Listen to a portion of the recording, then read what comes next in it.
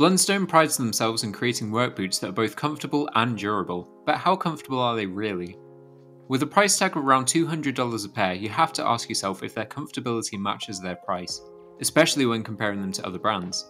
Since Blundstone's inception in 1855, they've been the go to shoes for most hardcore professions like construction and mining, primarily due to their comfort and durability. More recently, the designs have been altered with cushioned midsoles and removable footbeds to improve comfort for the average user. I've been wearing Blundstones for years and have owned multiple pairs, I usually go for the Chelsea boots, and I'm breaking in a pair of the new 500s right now. Here's how they look on me. In my experience, they're very comfortable after they're worn in, which usually takes a few weeks. If you'd like a guide on breaking in Blundstones quickly, we have one here.